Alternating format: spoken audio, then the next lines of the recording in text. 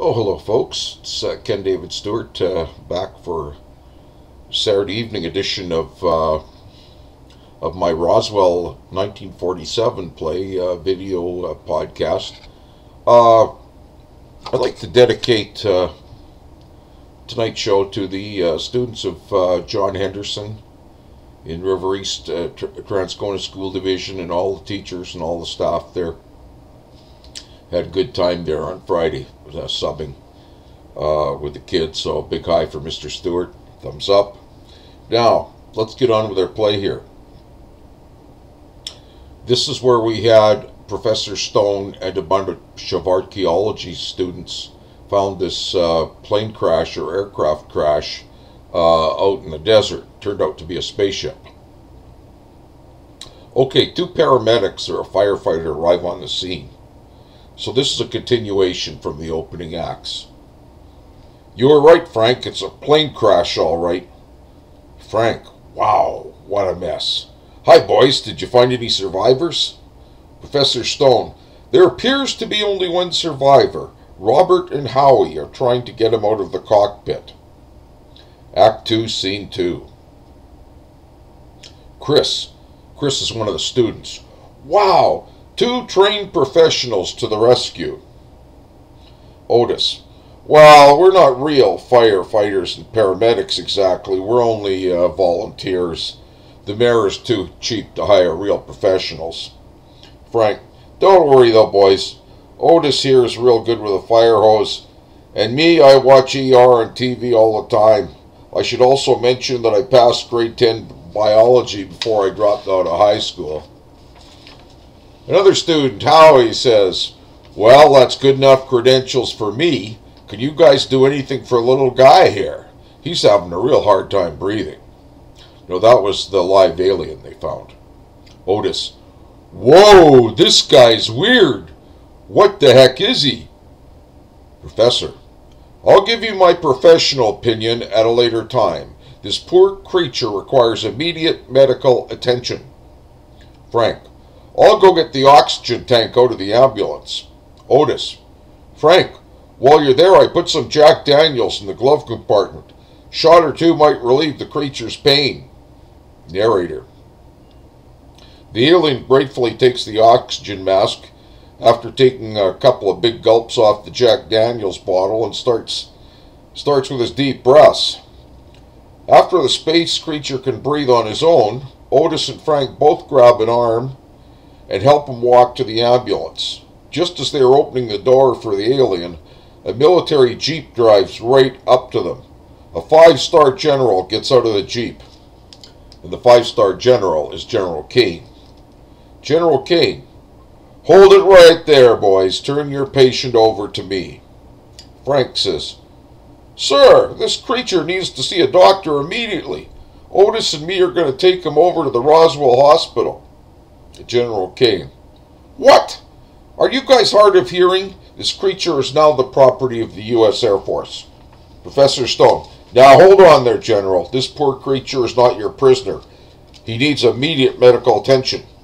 General Kane, is that so? I recognize you. You're that professor I saw on the Discovery Channel last night. You're the old geezer who was out hunting for dinosaur bones. Now listen up, Egghead. You and your students didn't see anything unusual out here today. You saw nothing, you heard nothing. In fact, as far as you're concerned, today never even happened. If you people tell anyone about the crashed spacecraft or these aliens, they'll be looking for your bones in the desert. Now, do I make myself perfectly clear? Now we switch over to Act 3, Scene 1. Dusty says, Could be one of those flying saucers I keep hearing about on the radio. Floyd, Buddy, you better get to the radio station right quick and tell them your story. Them radio people will probably pay you for real good for an interview. Mick says, Thanks for the tip, Floyd. I sure could use the money. About right about now, my old truck needs a lot of repairs. I'll be on my way to the radio station. Say hi to Aunt B for me. Act 3, Scene 2. Narrator Mick rushes right into the control room at the radio station. The two DJs, Rick and Dwight, are still on the air. Mick says, Do you guys want to see proof of what those old guys at the general store were talking about? Rick, listeners, we'll be right back after a message from our sponsors. As Rick and Dwight take off their headphones, Mick dumps the bag of shiny metallic objects all over their desk. Rick says, What's this stuff, Mick? Mick says, It's pieces of a flying saucer that landed on my ranch last night. Dwight says, Rick, this is the scoop of the century. Rick says, I know it will be the broadcasters who first broke the story.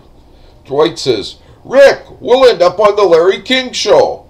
Rick, easy, Dwight.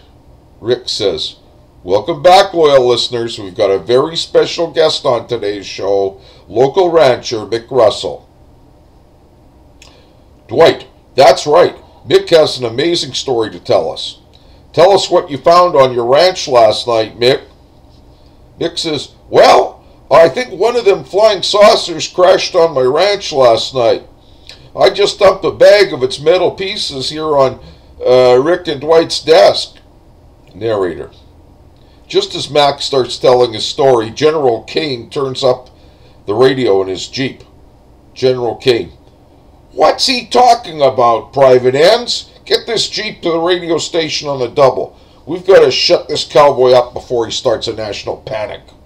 Private Ends. Don't worry, sir. I'll have us there in a flash. While Rick and Dwight are interviewing Mick Russell, General Kane smashes the glass window in the control room. Private End kicks in the door.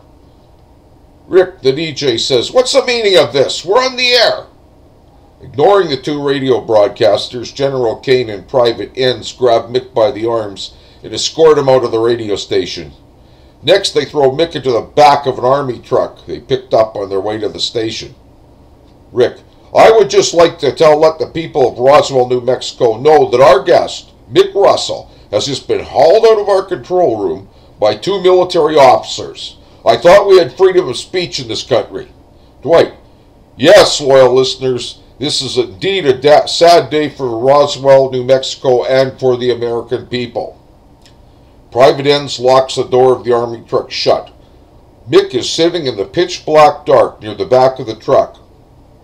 Mick can't see anyone but he hears some labored breathing and deep moaning as if someone is in terrible pain. Mick, who's in here? Man, it smells awful in here. Feel like I'm gonna puke. After a long bumpy ride, the army truck steps in front of the Roswell Hospital. Private Ends unlocks the door and helps Mick out of the back of the truck.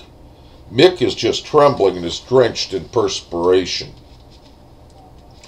obviously from the stress. Mick says, What are you guys doing to me? General Kane, Shut up, Russell. Ends, take the surviving alien into the hospital. You bring Russell in. I'll get some of the orderlies to carry in the dead aliens. Mick turns around and sees the live alien getting hooked up to an oxygen mask. Mick says, who the heck is that? Am I in some kind of a horror movie? General King pushes through the hospital doors while helping the live alien inside. Private Ends is right behind him with Mick in handcuffs. General K, nurse, give Mr. Russell here a shot of grade A horse tranquilizer. He's having a real bad day and I want him to take a nap. And call some orderlies. I need them to unload some bodies from our army truck. Nurse Carey. Aye, aye, General. Narrator. Nurse Carey calls for some orderlies over the intercom. As the orderlies arrive, Nurse Carey gives them their instructions. She tells Mick to lower his trousers and then gives him a needle in the buttocks.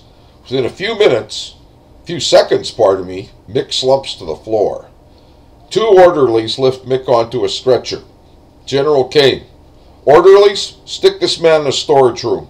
After I take care of business here, I'm taking him back to the Air Force, Air Force Base for questioning. Narrator, While all this commotion is going on in the reception room, a doctor passes by and sees the live alien slumped in a chair. And that's it for now, folks. That's as far as we're going to get for now with our story. Okay, thanks very much for uh, tuning in, and I have an updated episode coming up later. Thank you.